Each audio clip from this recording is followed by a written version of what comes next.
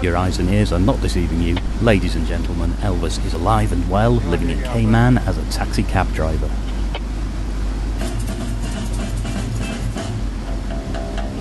Walk like an angel.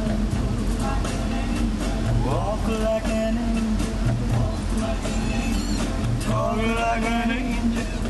Elvis, one of the most sought after and for obvious reasons most popular cab drivers on the island, definitely lives, works and entertains his way.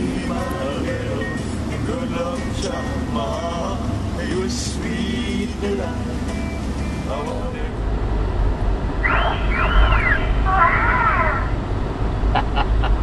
That's not girls. we That's a stop chick magnet. That's right. Elvis's distinct look and style extends to his beloved rock and roll taxi. If you haven't realised it by now, when you hail a ride from this cabbie, you are in for one of the most unique, entertaining journeys of your life. Elvis truly is the ultimate tourism ambassador. What you see is what you get, and that's why visitors love him and continue to come back year after year, just to spend a few hours in the King's company. Must be lights, burning gravel, someday. Got to be birds flying higher in the sky. I got a good, good reception. I'm on the internet. I'm all over. We got, I got people when they come in on the island, they don't want nobody else. They want me El- Elvis. I take them out all around, and after I finish on tours, I sing for them on the way back. If you're lucky, he'll even stop on one of Cayman's white beaches and show you a few of the King's moves.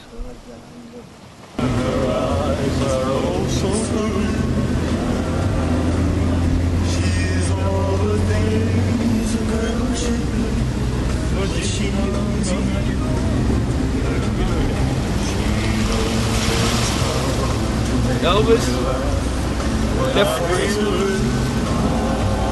Once you have the footwork down, there's simply no stopping you. You've been bitten by the Elvis bug, and that can mean only one thing.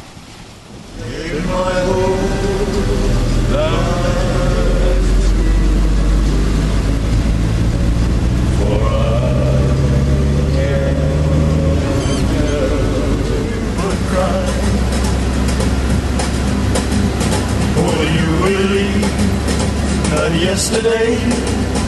This girl was in my arms and swore to me she'd be mine eternally and raise the name of the latest flame. The king lives.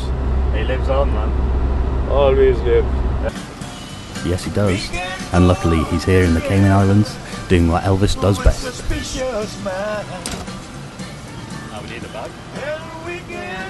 Taking care of business for the Cayman Compass, I'm Joe.